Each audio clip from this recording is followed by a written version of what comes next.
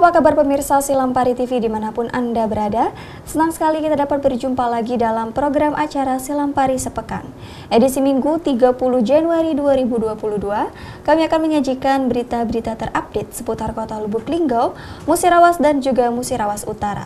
Tentunya bersama saya Sofi Lail Ayunina. Berikut Silampari Sepekan selengkapnya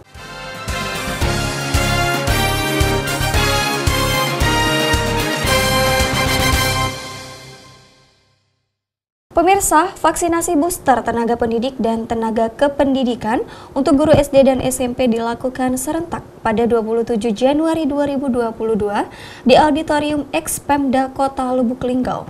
Target vaksinasi booster 1.600 orang.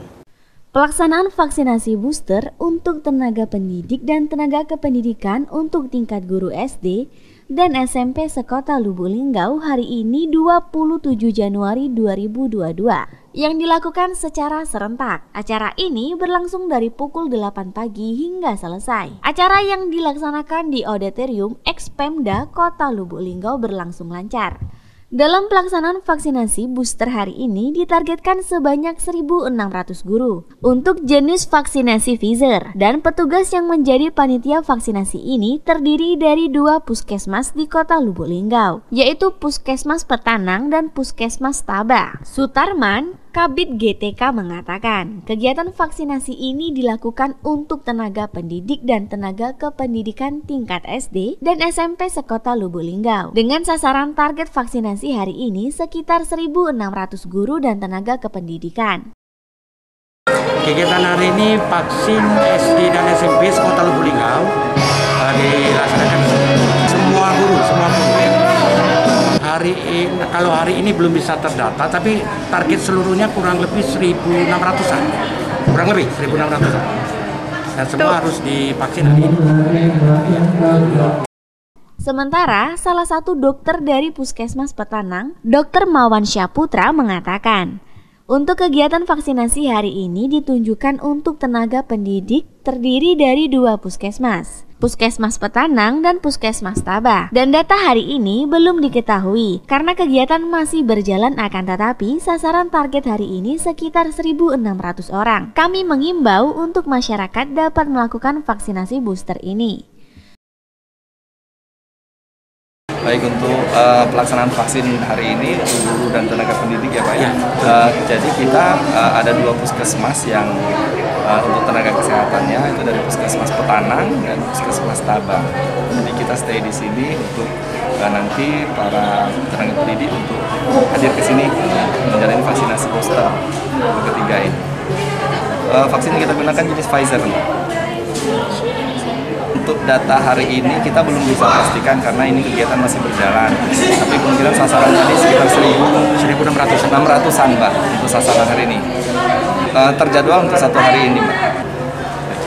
Uh, kami kami selaku tenaga kesehatan dari Puskesmas Pertama Kota mengimbau kepada masyarakat uh, terutama untuk uh, yang masa awal ini untuk melakukan vaksinasi booster untuk vaksinasi booster jenis via Pfizer kayak gitu. Yolanda Monika Putri, Silam Pari TV melaporkan. Di Kabupaten Musirawas, pencapaian vaksin dosis 1 sudah mencapai 86 persen atau 255 ribu orang dari target 295 ribu. Untuk vaksin dosis kedua sudah mencapai 45 persen. Dan sekarang masih menunggu waktu untuk perbedaan dosis 1 dan dosis 2, karena sekarang masih di dalam proses. Untuk sekarang, di Kabupaten Musirawas, capaian vaksinasi dosis 1 sudah mencapai 86 persen, atau sebanyak 255 ribu orang dari target 295 ribu. 15 orang yang belum melakukan vaksinasi ini akan menjadi sasaran vaksin secara umum. Untuk sekarang, pencapaian vaksinasi dosis kedua sudah mencapai 45% dan masih menunggu waktu saja untuk perbedaan dosis satu dan dosis kedua. Karena untuk sekarang, vaksinasi dosis kedua masih dalam proses. Adapun jenis vaksin yang diterima dari bulan Februari 2021 hingga sekarang sebanyak 305.000 atau 368.000 dosis. Dipakai sebesar 92,8 persen, 283.000 atau 447.000 dosis. Sedangkan AstraZeneca diterima sebanyak 595.447.000 dosis, yang terpakai sebanyak 76 6,56 persen atau 45.553 dosis. Sekretaris Dinas Kesehatan Kabupaten Musirawas Muhammad Nizar menjelaskan, untuk dosis anak sampai sekarang kita sudah mencapai 85 persen. Untuk dosis pertamanya atau 26 juta dari target 42 juta 447 ribu anak semusirawas dari usia 6 sampai 11 tahun. Sementara dosis 2 masih sedikit yaitu 0,08 sekitar 50-an anak. Dan saat ini masih menunggu waktu karena masih dalam proses. Muhammad Nizar juga menghimbau masyarakat untuk meningkatkan kedisiplinan dan mematuhi protokol kesehatan. Karena protokol kesehatan merupakan minimal kita bisa menjaga diri kita sendiri. Maka kita mengharapkan masyarakat Musirawas dan sekitarnya untuk tetap disiplin, tetap menjaga kesehatan. Karena COVID-19 masih ada. Dan selanjutnya kami harapkan masih ada 14% lagi yang belum divaksin. Dari 14% itu mungkin ada penyakit bawaan sejak kecil makanya tidak boleh divaksin. Pokoknya masih ada peluang masyarakat untuk melakukan vaksin. Untuk ini kami mohon kepada masyarakat yang belum vaksin segeralah vaksin ke puskesmas puskesmas atau ke pelayanan vaksinasi terdekat sesuai jadwal yang ada di puskesmas-puskesmas atau yang sudah dipublikasikan ke media sosial. Uh, untuk Musirawas kondisi secara umum vaksin kita untuk dosis 1 sudah mencapai 86 persen atau 255.059 uh, orang dari target 295 uh, 15 orang uh, yang akan jadi sasaran vaksin seluruh total secara umum dosis 2 baru mencapai 45 persen. Itu hanya nunggu waktu saja. Perbedaan antara dosis 1 dan dosis 2 Adapun uh, jenis vaksin yang kita terima dari bulan Februari 2021 kemarin hingga sekarang Sinovac itu sebanyak 305.368 dosis dipakai Uh, sebesar 92,8 persen atau 283.447 dosis. Sementara AZ uh, kita terima sebanyak 59.470 dosis yang terpakai sekitar 76,56 persen atau 45.530 dosis. Nah untuk dosis anak sampai sekarang kita sudah mencapai uh, vaksin uh, udah 60,85 persen dosis pertamanya atau sebanyak 26.011 orang anak dari target 42.747 anak semusirawas usia 6 sampai 11 tahun. Sementara dosis 2 baru mencapai uh, sedikit baru 0,08 atau sekitar 50-an anak itu tinggal nunggu waktu proses tahapannya masih diproses kayak ya? hmm. Imbauan sekarang uh, sampai sekarang kita menghadap pada masyarakat ada beberapa hal yang perlu diperkuat, yang perlu dipantau, harus perlu meningkatkan kedisiplinan menggunakan uh, protokol kesehatan karena protokol kesehatan itu prokes itu dengan 6M itu adalah merupakan minimal kita bisa memelihara diri kita sendiri maka kita mengharap kepada seluruh masyarakat Musirawas dan sekitarnya untuk disiplin tetap menjaga protokol kesehatan karena COVID itu masih ada. Dan selanjutnya uh, kami mengharap karena ada sekitar 14% lagi masyarakat kita belum divaksin. Dari 14% itu mungkin ada beberapa penyakit yang terindikasi tidak boleh vaksin. Hmm. Artinya masih ada kesempatan peluang masyarakat yang belum vaksin. Untuk itu kami mohon kepada masyarakat yang belum vaksin sama sekali segera datang ke puskesmas atau pelayanan vaksinasi yang terdekat di daerah Anda, di desa-desa Anda, uh, sesuai jadwal yang sudah dipublikasikan oleh puskesmas-puskesmas baik dalam media sosial. Randi Putra Pralingga, Silam Pari TV melaporkan. Sementara itu pemirsa, pengurus Ikatan Guru Taman Kanak-Kanak Indonesia atau IGTKI Persatuan Guru Republik Indonesia Kabupaten Musirawas periode 2020-2025 resmi dilantik. Pelantikan dihadiri langsung oleh Bupati Musirawas Hajar Ratna Mahmud yang menjanjikan tahun 2022 ini guru TK menerima insentif dari Pemda. Pengurus Ikatan Guru Taman Kanak-Kanak Indonesia Persatuan Guru Republik Indonesia Kabupaten Musirawas Sekabupaten Musirawas periode 2021-2025 resmi dilantik. Acara pengukuhan tersebut dilaksanakan di Gedung Auditorium Pemkap Musirawas. Acara pengukuhan tersebut dihadiri langsung oleh Bupati Musirawas Hajar Ratna Mahmud, Ketua IGTKI Lia, dalam kesempatan itu, Kepala Dinas Pendidikan Kabupaten Musirawas, Irwan Effendi menuturkan, dirinya melihat banyak sekali para guru TK yang masih energik. Dan ia berharap dengan potensi dan kemampuan yang ada dapat maksimal dalam bekerja. Dan bagaimana IGTKI juga sebagai salah satu organisasi guru secara bersama-sama menjadi mitra pemerintah. Ia menekankan pendidikan sangat penting selain kesehatan, karena dapat mengubah nasib dan memutuskan rantai kemiskinan. Ketua IGTKI, Lia menyatakan, karena gaji guru TK ini hanya 200.000 sampai 250.000 setiap bulannya. Kami harap ada perhatian dari pemerintah dan alhamdulillah ditanggapi oleh Bupati Musirawas. Namun nominalnya belum tahu. Sedangkan Bupati Musirawas Hajar Ratna Mahmud juga menegaskan, di tahun 2022 ini guru TK akan mendapatkan intensif dari pemerintah Kabupaten Musirawas. Kalau 50 ribu kali dua berapa? Satu juta ya? Satu juta itu misalnya ada tiga guru, kalau tiga guru itu uh, uh, itu gajinya.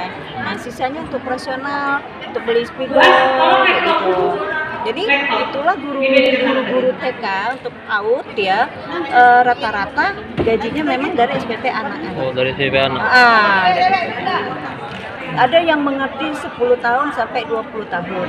Hmm. Nah, jadi kami itu memang benar-benar berharap aku e, dari pengangkatan juga deh.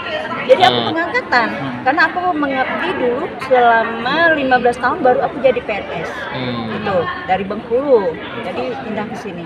Nah, di sini di sini itu kami mengharap pemerintah itu ada perhatian kayak seperti aku dulu diperhatikan oleh pemerintah gitu. Jadi uh, udah ber, menghadap koordinasi dengan PGRI, minta bantuan PGRI untuk menyampaikan ke DPR untuk membuka peluang bagi guru TK, terutama yang sudah masa kerjanya ya, 10 tahun di atas 10 ya? tahun sampai 20 tahun dan usianya sudah 40 tahun ke atas, bahkan ada yang sudah 50 tahun, uh, hargai peng, uh, memberikan penghargaan lah ketua suatu yang diadakan tanpa Hmm. Hal itu disampaikan Bupati usai mengukuhkan pengurus IGTKI PGRI sekabupaten Musirawas. Bupati Musirawas Hajaratna Mahmud menuturkan, saya sudah mencari informasi dan benar di tahun lalu guru TK ini tidak dapat insentif. Jadi saya akan anggarkan, lanjut Bupati. Hanya saja untuk besaran belum dipastikan. Yang jelas tahun 2022 guru TK di Kabupaten Musirawas akan mendapat insentif dari pemerintah daerah. Randi Putra Pralingga, Silampari TV melaporkan.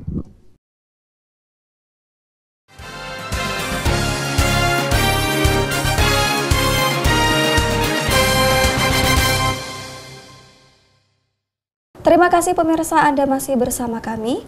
Bupati Musirawas Hajar Ratna Mahmud membuka langsung Musabakoh Tilawatil Quran ke-50 tingkat Kabupaten Musirawas pada Selasa sore 25 Januari 2022. Acara ini berlangsung di Pendopo Rumah Dinas Bupati Musirawas. Musabakoh Tilawatil Quran ke-50 tingkat Kabupaten Musirawas dimulai. Pembukaan acara Selasa sore 25 Januari 2022 di Pendopo Rumah Dinas Bupati Musirawas, Jalan Ayani, Kelurahan Jokoboyo, Kecamatan Lubuk Linggau Utara 2. Acara ini dibuka langsung oleh Bupati Musirawas Hajaratna Mahmud. Pada acara pembukaan dilaksanakan juga pelantikan pengurus keagamaan Kabupaten Musirawas. Yang pertama, pelantikan DMI.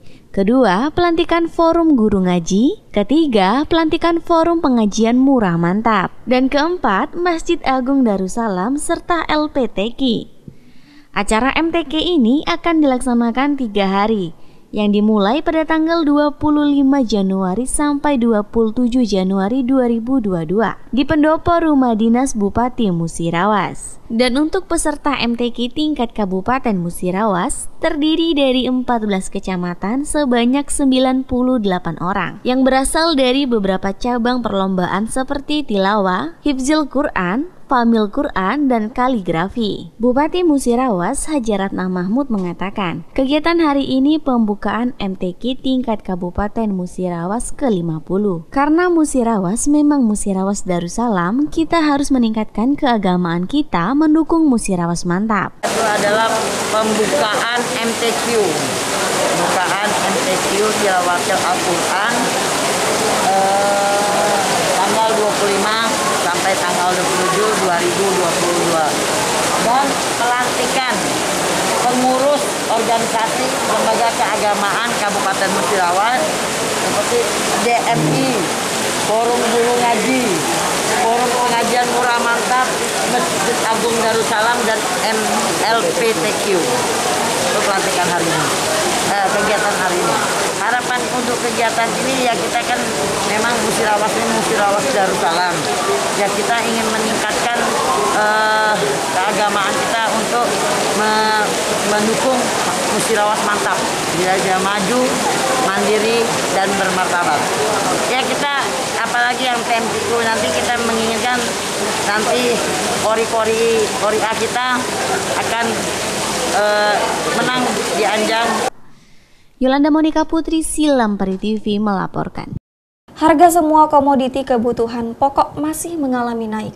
Akibatnya banyak pembeli yang mengeluh karena kebanyakan pembeli adalah pedagang usaha makanan.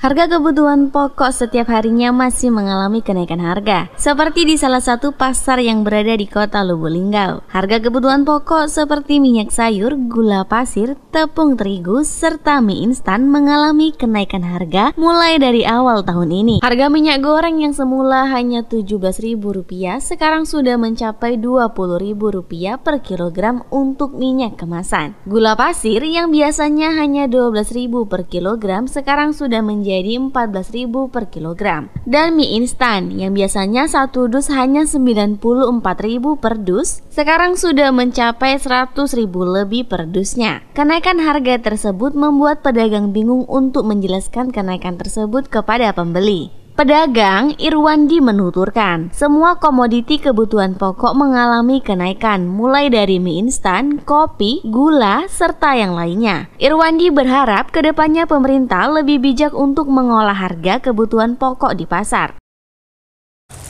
Seperti tahun-tahun sebelumnya, tahun 2021 akhir, ini juga sama, semua sembako pun naik di awal dari minyak naik sekitar 3000 sampai 4000-an per kilo.